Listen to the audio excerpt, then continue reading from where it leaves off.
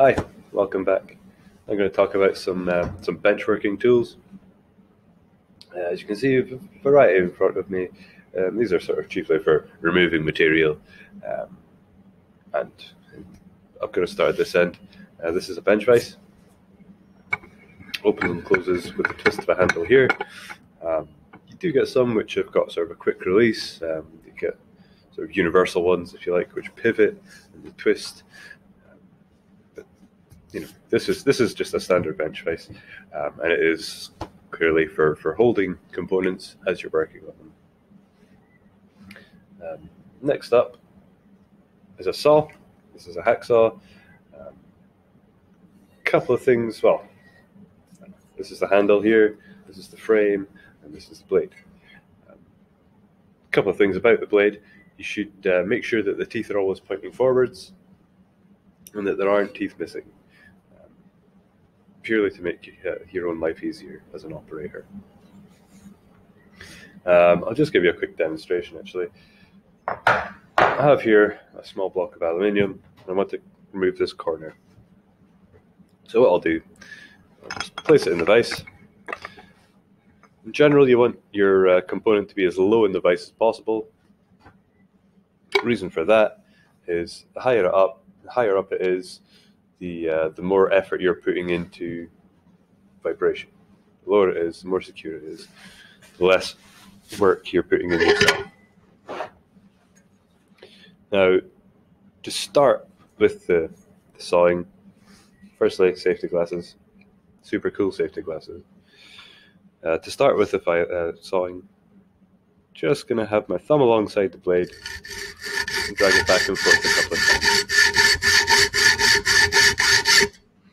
Once I've got a little notch, I'll start working my way down with both hands. So the stance you have is a sort of a nice steady stance. Um, whichever is your dominant hand is holding the handle, and your other hand is to support the front of the frame. Um, as I mentioned, the, the teeth point forwards, so your effort should be in the forward stroke. Okay, so it looks a bit like this.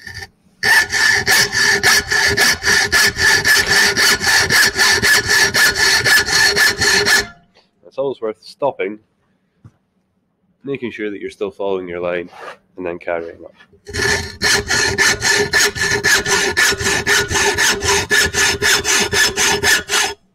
And once you get to where you want to be, it's about there. Just remove the saw and flip it round. The uh, the reason for flipping flipping it round is um, to allow gravity to help you. You don't want to try and claw sideways when um, you know a, a lot of your work is done if you're going vertically just by you know virtue of gravity. So again, thumb alongside, line your blade up. Couple of wee scratches to start, and then ready to go. Now you can see this is higher up out the vise, so there will be more noise.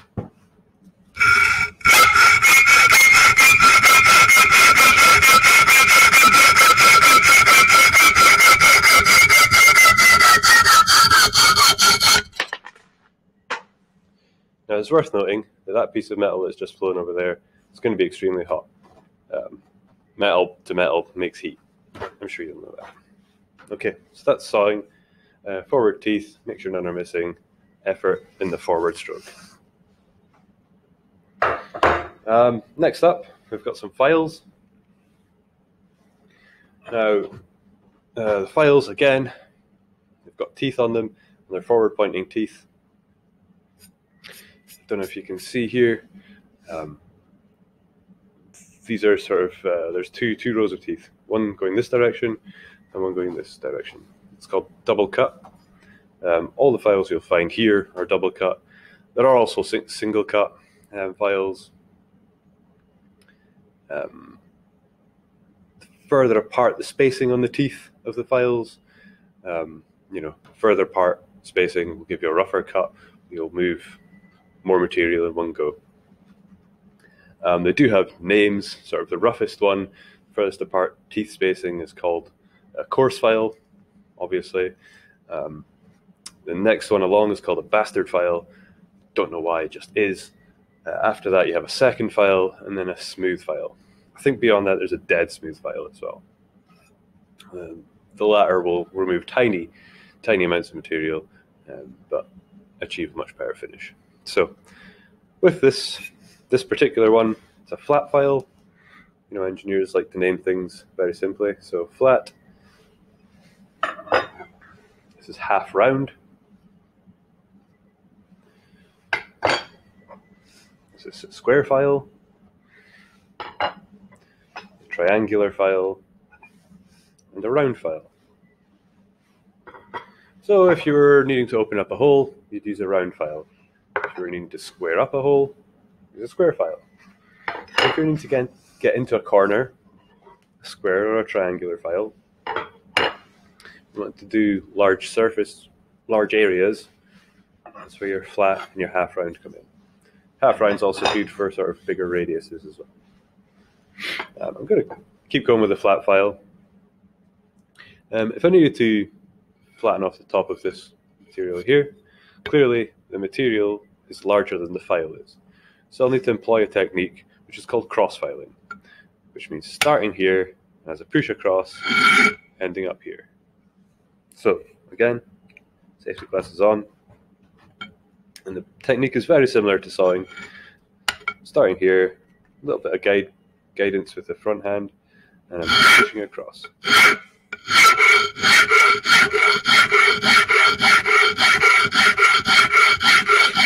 that already is pretty smooth. You're then going to end up with some burrs along the edge here, but they can be removed with the file also. Lovely. Uh, the other advan- uh, advantage with this particular flat file is on one end, one end edge, uh, you have got some some some teeth, and on this one there are no teeth. So if you're needing to file into a corner, you use the no teeth up against the wall, if you like. So it won't cut further into the, the edge. So you can go that way. And again, um, for filing, like sawing, you always want to be doing it in the downwards incline. Loosen that off, flip it around. Again, as low in the vise as you can, nice and tight. Flat edge up against the wall.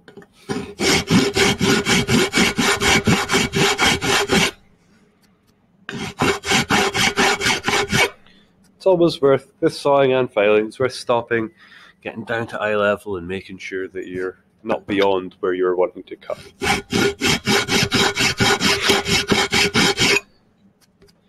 And that's filing. One thing that happens with filing, you maybe be able to see it here.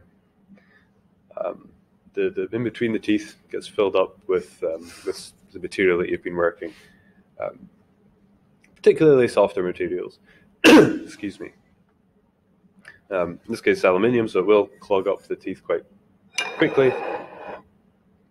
Uh, that process is called um, pinning, and to remove the pinning, we use something called a file card.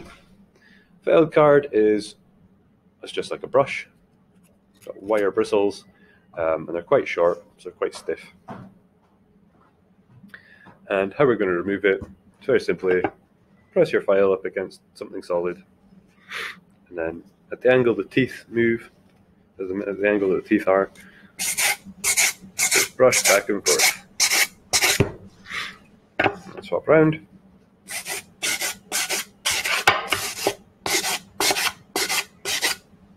There we go. That's how you depin a file in a file card. Um, next, we have some chisels. We don't really use chisels nowadays. Um, it's a very ancient technology. Um, carpenter carpenters use them, cabinet makers. It's unlikely you will ever use them in metalwork, um, but they are here, so we will show you how to work them, how to work them like they're a machine, you know. Nowadays, yeah, we have milling machines and things which are far more efficient, less labor intensive, more accurate. There's no reason still to use files, uh, but here's a demonstration anyway. Um, again, very original naming system. This is a flat chisel because it's flat. This is a crosscut chisel. You'll notice it's like kind of like an arrowhead shape, um, and the, the sharp part is this way across it. Uh, it's for cutting across the, the, face of a, of a, of a component, um, and that'll allow you to make a nice sort of channel. Um, and this one here, I don't know if you can see that, it's a diamond chip, a giant, it's a diamond tipped chisel, um, and it will allow you to cut a V groove across the plane. So, methods for using this. Use one of these, which I'm sure you're familiar with. It's called, of course, a persuader. And with your safety glasses on, you sort of knock down, and then once you're into the material, you bring it down a little bit, and you can go across the way. So knock down, and once you're in, there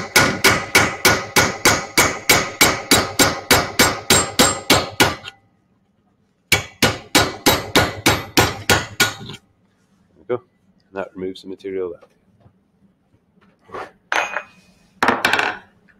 Um, if you'd like the um, the other ones, the crosscut, just open up the vise.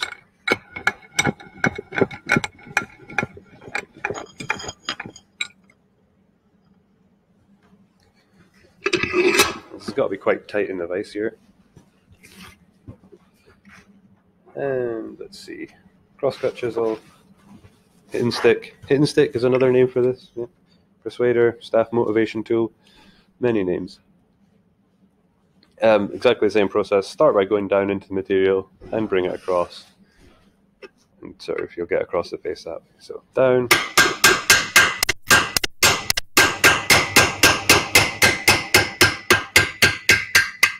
And it gets a nice groove in the, in the metal. And lastly, we've got the, um, diamond tip. So, same down, and then along.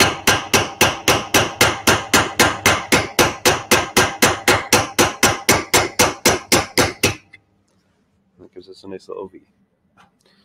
That's all for the benchworking tools just now. Thank you so much.